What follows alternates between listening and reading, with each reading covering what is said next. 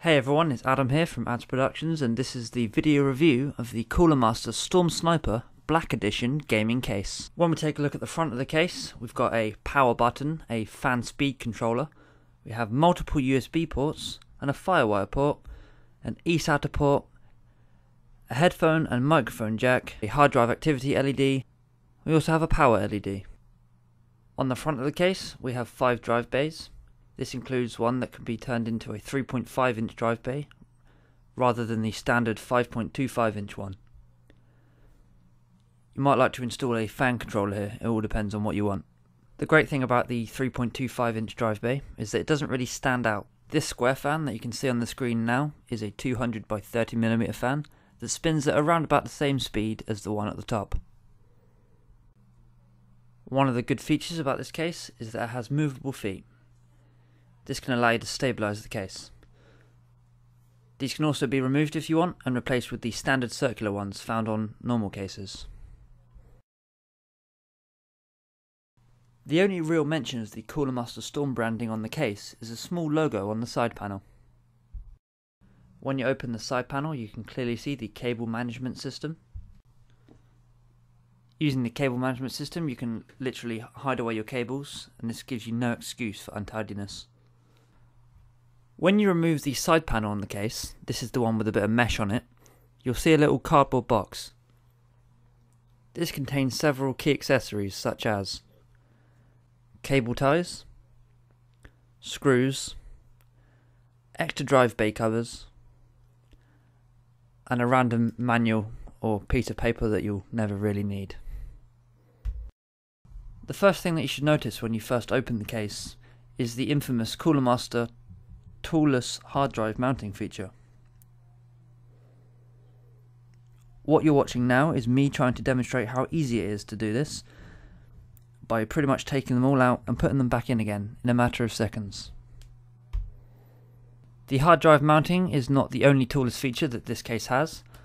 The drives are also able to be installed without the use of a tool. This is thanks to the same kind of design as the toolless hard drive. The main layout of the case is pretty standard but there is a lot of room for optional fans to be installed, which will therefore increase airflow. The power supply is also to be mounted on the base of the case instead of the top, which means there is absolutely no risk to your components. Now you may have noticed the large fan attached to the side panel, well this is a 200 by 30mm fan. Connecting the side panel fan to the power supply is pretty simple, however sometimes the wire can be a bit of an inconvenience. On screen now are the basic specs for this case. You can pause it just to have a quick look.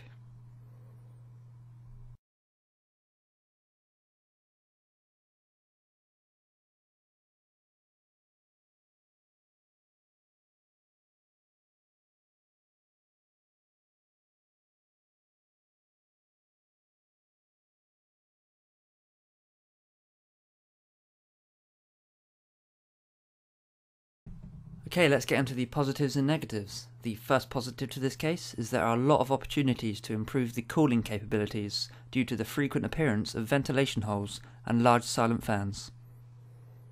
Having movable feet is a great aspect of this case that ensures maximum stabilisation. Unfortunately, the last vent at the bottom of the case can bring a lot of dust if you have a carpet under your PC.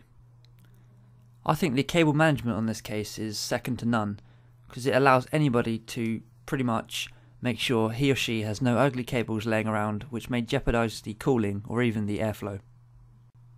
Overall, this case is a great buy, despite some minor flaws. If you're a hardcore PC gamer, or just an enthusiast, this is definitely a case to consider. Thanks for watching, but before you go, I do actually have a second channel where you sort of get a different perspective of me, and this is where I'll be filming every day of my life until well, I'm not sure yet, but feel free to click the link now on the screen to go directly there and enjoy. They're sort of like daily vlogs, so yeah, check out what I do on a daily basis, and yeah, we'll go from there. Also, if you'd like to follow me on Twitter, my Twitter is Adz Productions. Again, thanks for watching.